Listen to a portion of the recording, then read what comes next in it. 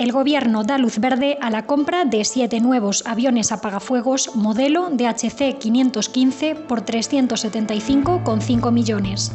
El contrato, que tiene una duración de ocho años, incluye también la actualización de la actual flota, operada por el 43 Grupo del Ejército del Aire y del Espacio y ubicada en Torrejón de Ardoz, Madrid.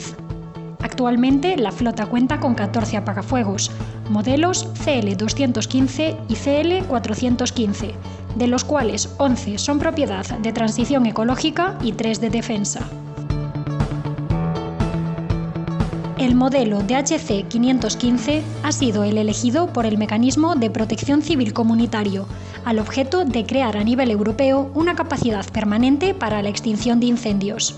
La Unión Europea financiará 12 unidades, dos para cada uno de los Estados miembros mediterráneos, España, Portugal, Francia, Italia, Croacia y Grecia. El programa español se enmarca en el acuerdo de colaboración suscrito el pasado abril entre los Ministerios de Defensa y Transición Ecológica. El primero se encargará de la dirección del proceso y la gestión de la adquisición, mientras que el segundo se ocupará de la financiación.